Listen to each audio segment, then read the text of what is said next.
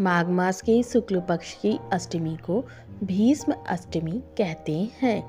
धर्मशास्त्रों में इस दिन भीष्म पितामह ने सूर्य के उत्तरायण होने पर अपने प्राण को त्यागा था। इस दिन प्रत्येक हिंदू भीष्म पितामह के निमित्त कुछ तिल व जल लेकर तर्पण करता है। मान्यता है कि इस दिन व्रत करने से सुसंस्कारी संतान की भी प्राप्ति होती है। इस दिन पितामह भीष्म के निमित्त तर्पण करने से व्यक्ति के सभी पाप नष्ट हो जाते हैं और पितृदोष का निवारण होता है। मान्यता के अनुसार जो लोग उत्तरायण में अपने प्राण त्यागते हैं, उनको जीवन मृत्यु के चक्र से छुटकारा मिल जाता है और मोक्ष को प्राप्त करते हैं। तो आइए जानते हैं, भीष्म अष्टमी तिथि मुहूर्त, महत्व और पूजा विधि के बारे में। साल 2023 में भीष्म अष्टमी 28 जनवरी 2023 दिन शनिवार को है। मध्याह्न का समय सुबह ग्यारह बज के तीस मिनट से दोपहर एक बज के उनचालीस मिनट तक।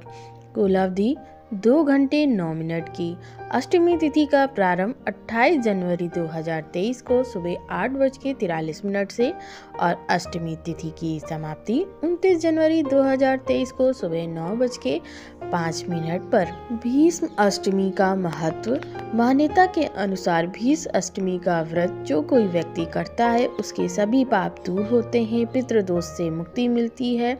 इस दिन भीष्म पितामह का तर्पण जल, कुश और तिल से किया जाता है श्रीमद् भगवत गीता में बताया गया है कि किस तरह अर्जुन के तीरों से घायल होकर महाभारत के युद्ध में जख्मी होने के बावजूद भीष्म पितामह 18 दिन तक मृत्यु सैया पर लेटे थे। इसके बाद उन्होंने माघ शुक्ल अष्टमी तिथि को चुना और मोक्ष को प्राप्त किया। आइए जानते हैं भीष्म अष्टमी व्रत की विधि। इस दिन साधक को किसी पवित्र नदी में स्नान करना चाहिए, बिना सिले वस्त्र धारण करने चाहिए। इसके बाद दाहिने कंधे पर जनेऊ धारण करें। जनेऊ धारण नहीं कर सकते तो दाहिने कंधे पर गमछा ज़रूर रखें।